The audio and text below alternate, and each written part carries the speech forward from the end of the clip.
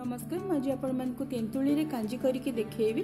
ତେନ୍ତୁଳିକୁ କଇଁଆ ବୋଲି ମଧ୍ୟ କୁହାଯାଏ। ଓଡ଼ିଶାରେ ପ୍ରାୟତଃ ଅଧିକାଂଶ ଲୋକ ତୋରାଣୀରେ କାଞ୍ଜି କରିଥାନ୍ତି ନହେଲେ ଟମାଟୋ ଏବଂ ଦହିରେ ମଧ୍ୟ କାଞ୍ଜି କରିଥାନ୍ତି। ଯେହେତୁ ଏହି ସମୟରେ କଞ୍ଚା ତେନ୍ତୁଳି ମିଳିଥାଏ କଞ୍ଚା ତେନ୍ତୁଳିରେ ମଧ୍ୟ କାଞ୍ଜି କରାଯାଏ ଯେଉଁଟା ଖାଇବାକୁ ବହୁତ ବଢ଼ିଆ ଲାଗେ। କାଞ୍ଜି ଖାଇବା ପାଇଁ ଯେତିକି ସୁଆଦିଆ ହେଇଥାଏ ଆମ ଦେହ ପାଇଁ ମଧ୍ୟ ସେତିକି ଭଲ। ଏଇ ଦେଖନ୍ତୁ କଞ୍ଚା ତେନ୍ତୁଳି। ଏଥିରେ ବହୁତ କିଛି ଜିନିଷ ତିଆରି କରାଯାଏ ଆଉ ଏଇ ସମୟରେ ହିଁ ଏଇଟା ମିଳିଥାଏ। କାଞ୍ଜି କରିବା ପାଇଁ ଆମକୁ ପ୍ରଥମେ ତେନ୍ତୁଳିରୁ ରସ କାଢ଼ିବାକୁ ପଡ଼ିବ ସେଥିପାଇଁ ଗୋଟେ କଡ଼େଇଟେ ଗରମ କରିନେଲି।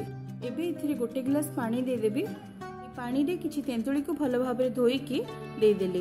ଅଳ୍ପ ଆଞ୍ଚରେ ଦଶ ମିନିଟ୍ ଏବେ ୟାକୁ ଘୋଡ଼େଇକି ରଖିଦେବା ଯେମିତି ତେନ୍ତୁଳି ଭଲରେ ସିଝିଯିବ। ଦେଖନ୍ତୁ ତେନ୍ତୁଳି ଏବେ ଭଲ ଭାବରେ ସିଝି ଯାଇଛି ଚୁଲିକୁ ବର୍ତ୍ତମାନ ବନ୍ଦ କରିକି ଥଣ୍ଡା ହେବା ପାଇଁ ରଖିଦେବା।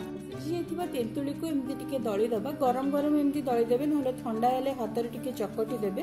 ଯେମିତିକି ଆମକୁ ତେନ୍ତୁଳିର ରସ ବାହାର କରିବାକୁ ଟିକେ ସୁବିଧା ହେବ। ତେନ୍ତୁଳିର ରସ ଛାଣିବା ପାଇଁ ମୁଁ ଏଠି କାଚର ଏଇ ଜାଗାଟେ ନେଇଛି। ବର୍ତ୍ତମାନ ଗୋଟେ ଛଣା ସାହାଯ୍ୟରେ ସିଝେଇକି ରଖିଥିବା ତେନ୍ତୁଳିକୁ ଦେଇକି ସେଥିରୁ ତେନ୍ତୁଳିର ରସକୁ କାଢି ନେବା। ଛାଣିବା ପରେ ଅଦରକାରୀ ଜିନିଷ ଗୁଡ଼ିକୁ ବାହାର କରିନେବା। ଏଥିପାଇଁ ତେନ୍ତୁଳି ରସ ଏବେ ଆମର ହେଇଗଲା। କାଞ୍ଜିରେ ଦେବା ପାଇଁ ମୁଁ ଏସବୁ ଜିନିଷ ନେଇଛି। ଆପଣମାନେ ନିଜ ଇଚ୍ଛା ଅନୁସାରେ ଯେକୌଣସି ପରିବା ଏଥିରେ ଦେଇପାରିବେ। ପରିବା ଭିତରେ ମୁଁ ଏଠି କଟା ହେଇଥିବା କିଛି ବୋଇତାଳୁ ମୂଳା ବାଇଗଣ ସାରୁ ପୋଇ ନାଡ଼ି ଏବଂ ପୋଇ ମଞ୍ଜିକୁ ନେଇଛି। କାଞ୍ଜିରେ ଦେବା ପାଇଁ ମୁଁ ଏଠି ଗୋଟେର ଦୁଇ ଚାମଚ ଖୁଦକୁ ବତୁରେଇକି ବାଟି ନେଇଛି। କାଞ୍ଜି କରିବା ପାଇଁ ମୁଁ ଏ ମାଟିର ଜାଗାଟା ନେଇଛି। ଏବେ ଏଥିରେ ଗୋଟେ ଗ୍ଲାସରୁ ଅଧିକା ପାଣି ଦେଇଦେଲି। ଦେଖନ୍ତୁ ପାଣି ଏବେ ଧୀରେ ଧୀରେ ଗରମ ହେଲାଣି। ବର୍ତ୍ତମାନ ଏଥିରେ କଟା ହେଇଥିବା ପରିବା ଗୁଡ଼ିକୁ ଦେଇଦେଲି। କାଟିକି ରଖିଥିବା ଖୁଦ ବା ଚାଉଳକୁ ମଧ୍ୟ ଏବେ ପରିବା ସହିତ ଦେଇଦେଲି। ବର୍ତ୍ତମାନ ନେଇଥିବା ସବୁ ଜିନିଷକୁ ଭଲ ଭାବରେ ମିଶେଇ ନେବା। ନେଇଥିବା ପରିବାକୁ ଦେଖିକି ଆମେ ସ୍ୱାଦ ଅନୁସାରେ ଲୁଣ ଏଥିରେ ଏବେ ଦେଇଦେବା।